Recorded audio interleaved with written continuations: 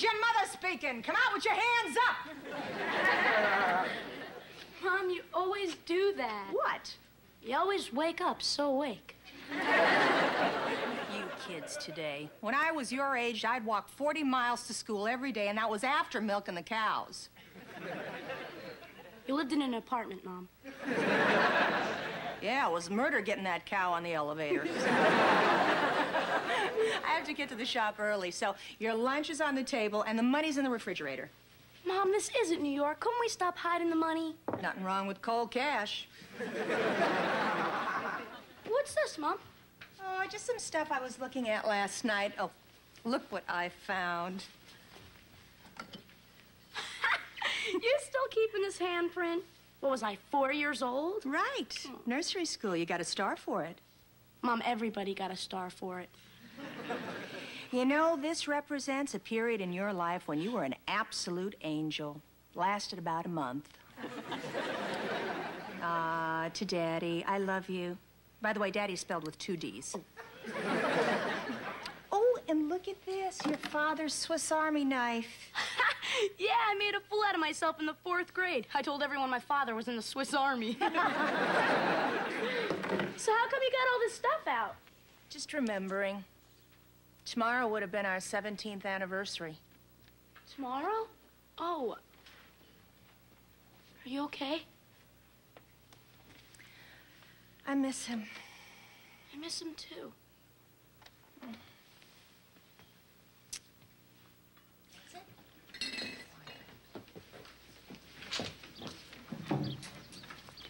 Hi, Robin.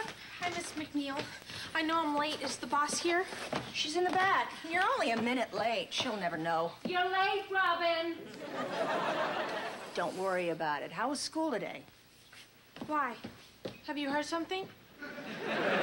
No, I was just asking. I met a boy. Really? Tell me about it. Well, I was at lunch finishing my peanut butter sandwich when this boy came up. Well, what did he say? He said, Hi, I'm John. And what did you say? I said, Worm, worm. I see. Then what? Well, then he said, and I can remember it exactly Can I borrow your eraser? Well, that's a new approach. Then what? Well, then I said, "Worm, worm." and he took my little pink elephant eraser and left before I could get my tongue unstuck. Actually, it was a blessing. Otherwise, I would have had to say something real. Robin, you really must do something about this shyness. You're as good as the next guy. Doesn't say much for the next guy. First you're late, now you're standing around. Dust the shelves. Yes, ma'am. Sweet girl. Just once, I wish she'd fight back. Of course, if she does, I'll fire her. McNeil, I'd like to talk to you about your anniversary tomorrow. How did you know about that? It's good policy to know everything about people I hire. Besides, I like snooping. anyway, I'd like to take you out to dinner tomorrow night. Well, that's very nice of you. Has nothing to do with nice. It's good labor management relations. A happy employee works her butt off. Thank you, Sheila, but I really think I'd like to be alone. Bad idea. What are you going to do? Sit around and mope? No, just thinking I was going to play some songs that we loved. If you want pain, slam a door on your foot. I'll be fine. Okay. I made the offer. If you change your mind, tough. I gotta get to the bank. They're about ready to close. Robin, would you take these customers, please? Okay. Robin, where's my mother? In the back. Good. Now, look, just be careful what you say to her. We will. How many years were they married? Tomorrow would have been their 17th. What a shame. They never got to their silver anniversary or gold or diamond. The ones where you really get the good presents. Look, just be cheerful. Hi, kids. Hi! Could I talk to you guys? Oh, sure, you can talk to us anytime. Sit down and be happy. We're here to listen. It's about Robin. We really have to do something for her. She's so shy. Kaz, you can help. Me? Yes, a woman likes to be appreciated by a man. So what does it have to do with Kaz? He's a man. Say something nice to her. Like what? Compliment her. On what? Think of something. She has a fresh peanutty aroma. Something else. Suppose I can't. Just do it. Do it. I'll Do it, I'll do it. Kaz, look, this is just what Mom needs. Get her involved in other people's problems. It'll keep her mind off Dad. Okay, okay.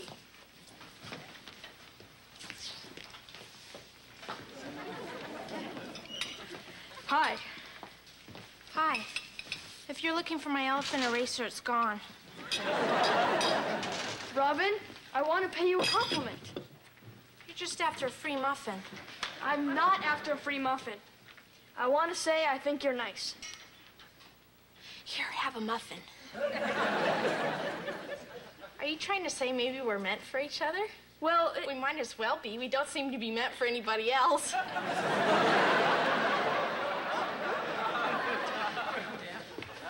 Do I know girls or what? The amazing part is that it's working with Kaz. Well, with first loves, it doesn't always have to be Prince Charming. I remember mine, Eddie Forbes. He could pull his upper lip over his nose. Ew! He was eight. He didn't know about champagne and candlelight. This is great. Mom's involved. See, the big problem is tomorrow night when we're home alone. That's the anniversary. Then don't be alone. Oh, sure. We'll invite the Stanford Marching Band. I meant just a few people. Like maybe a slumber party, you, me, and Robin. A slumber party on my mother's anniversary? That's crazy. She'll catch on to it right away. Of course she will. So what you say is that you want to have it tonight, but she says you can't because it's a school night. So then you say you want to have it Saturday night, but then you remember I'm busy, so that's no good. So that only leaves tomorrow night. You know, it just might work. Of course. You have a lot to learn about being devious. Melissa, you're incredible. That's the first time a girl ever said that to me. See you later, Kaz. you betcha. How'd it go? I think it went very well. She seems happy. We're going to a movie together. Kaz, I think that's great. I'll say it is. She's paying.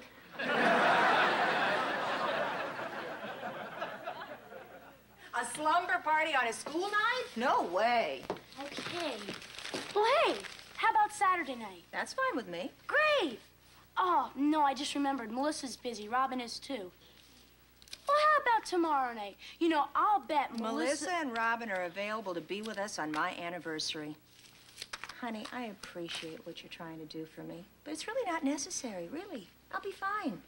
I really don't want to have a lot of people around me. You sure? Mm-hmm. Well, if it's all right with you, I'm gonna put away my handprint and all that other stuff. Something's eating our roses. One me.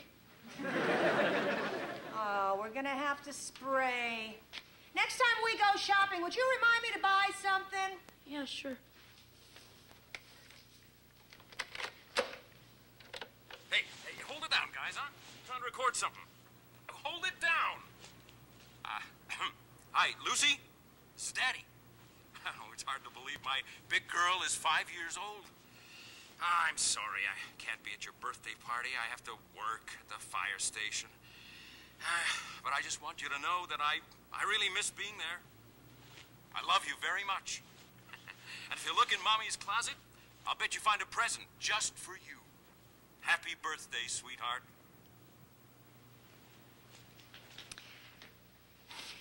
You know what?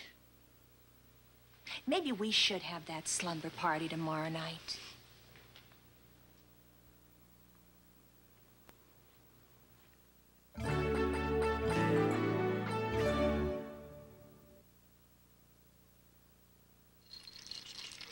How we doing? Got everything? Yeah, I think so. Nuts, gummy bears, jelly bellies, cheese puffs, licorice whips. Have I forgotten anything? Yeah, health and nutrition. This is just for snacking. We're gonna have a regular dinner. I'm making chili dogs. Melissa's bringing a tamale casserole. And for dessert, Robin is bringing peanut clusters and chocolate nut fudge. I'm bringing a stomach pump. you girls are gonna be awake all night. That's the whole idea of a slumber party. Of course. Where's my mind? Hi, I'm here. you weren't invited. Maybe not in writing, but I knew deep down where I was wanted. And you came anyway? Look, this is girls only. Of course, why do you think I'm here? Goodbye, Kaz. Who's that? Kaz trying to crash the party. Oh, of course. Did he try that old pizza delivery trick? Mommy's not that stupid. How you doing, honey? Okay, how about you? I think this was a good idea. Yeah.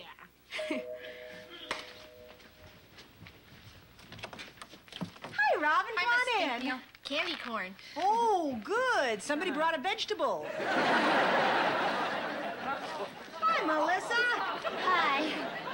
Melissa, what's the suitcase for? All you need is pajamas. That's all I brought. But I need a choice, don't I? Here, let me help you with that. What do you got in here? Roseanne's wedding gown? This is gonna be so much fun. I love roughing it. Could I sleep near the wall? I need to plug in my blanket.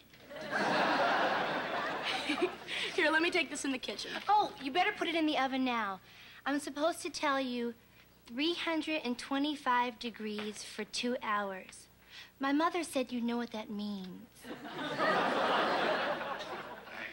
Tell you what, why don't you follow me and let me introduce you to the oven?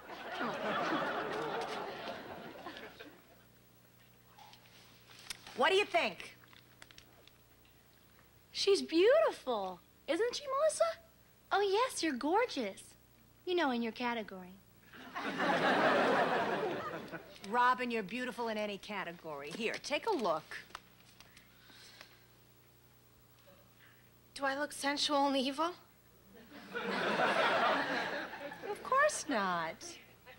Oh. We'll keep working on it. Wait till the guys see you. I do look beautiful, don't I? What about our hair? Do you think we should do something with it? Why not? Let's cut it and dye it.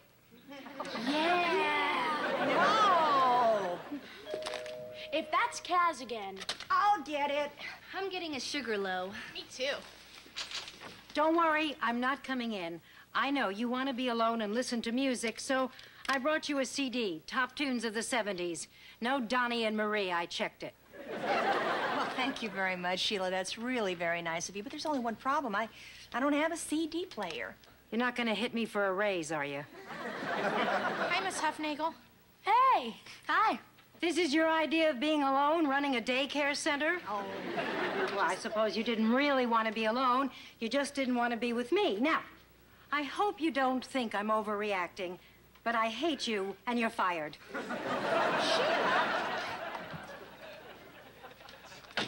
Sheila, I wasn't planning on any company, but Lucy's so upset about her father that I thought it'd be best if she did have a party and get her mind off it. You know, I never had a slumber party when I was little. Oh, come on, every girl. No, not me. I had four brothers. No mother in her right mind would let their daughters near my house. Gee, I'm sorry, Sheila. Me too. Sheila, would you like to... I'll get my jammies. Oh.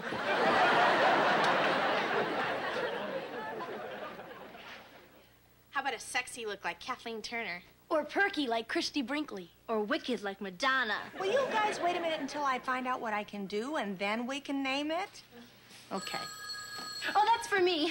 I left this number. That'll be Michael, Robert, or David. Or Freddie, or Harry, or Tom. Hello? Daddy? Or Daddy. Of course I'm here. Where else would I be? Mrs. McNeil, Lucy, and Robin.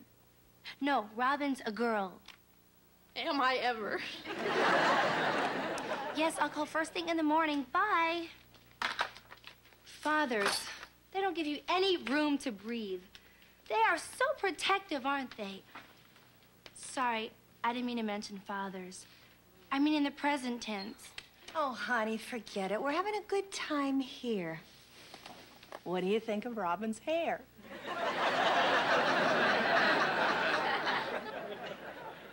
Mrs. McNeil, when does a woman reach her sexual peak?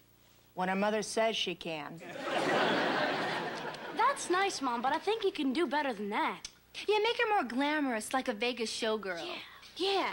Yeah. Aha! Now we're getting there. Honey, you're not going any further.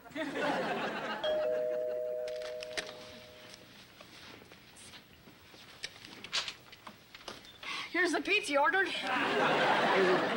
We didn't order a pizza. Well, somebody did. I guess it was me.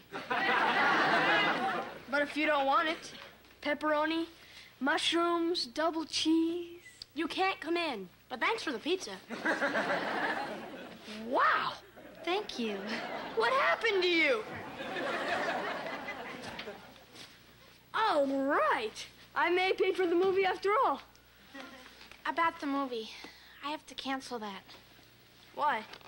I think I can do better.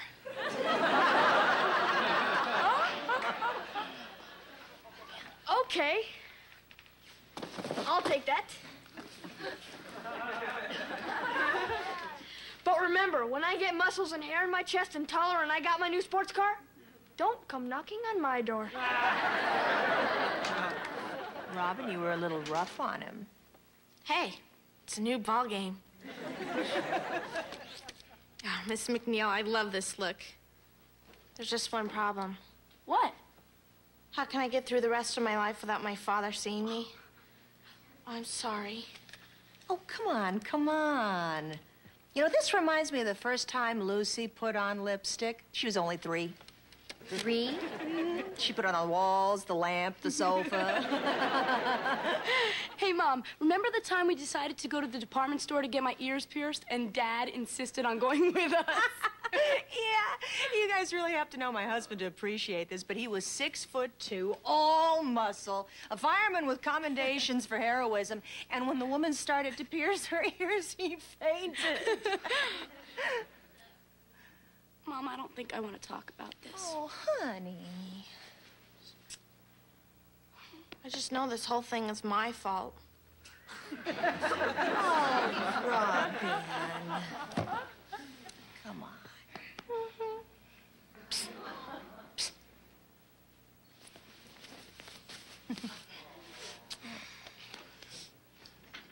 Wait a minute, I smell something. I had garlic bread Tuesday. No, I smell smoke. It's coming from the kitchen. Robin, call the fire department. Melissa, it's your casserole. I guess it's done. I'll put some water on it. Are you crazy? This is a grease fire.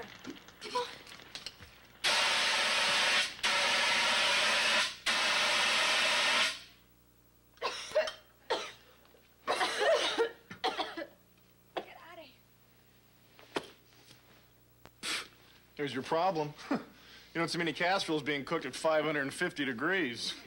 This is true. 550?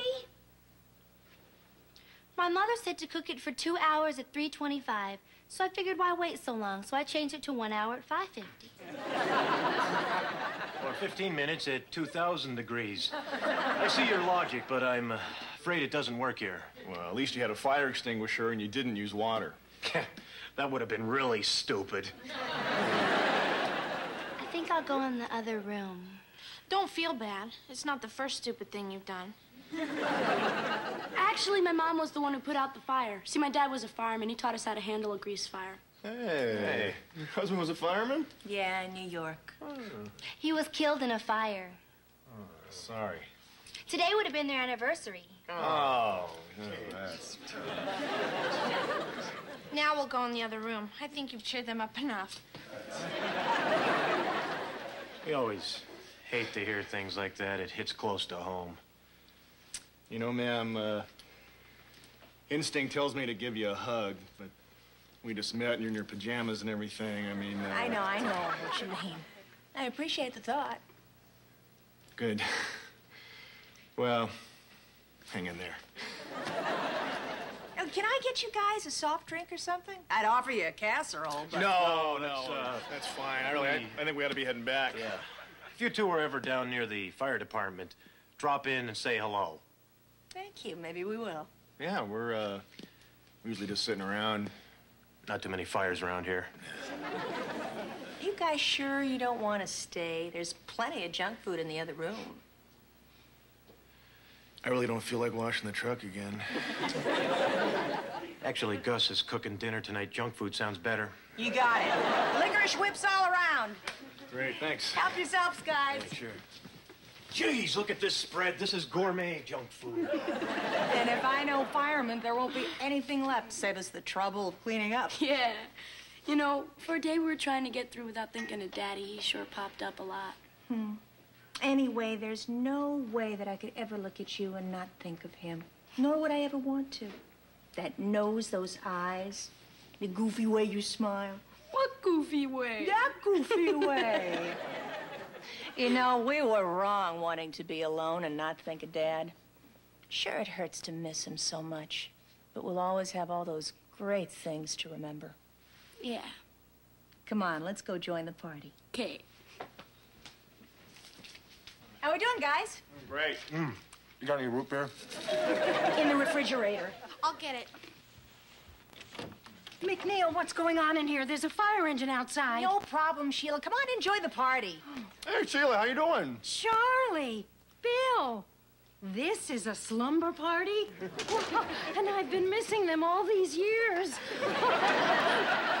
You know, this is just the kind of party your father would have thrown. Plenty of food and guys in rubber boots and axes.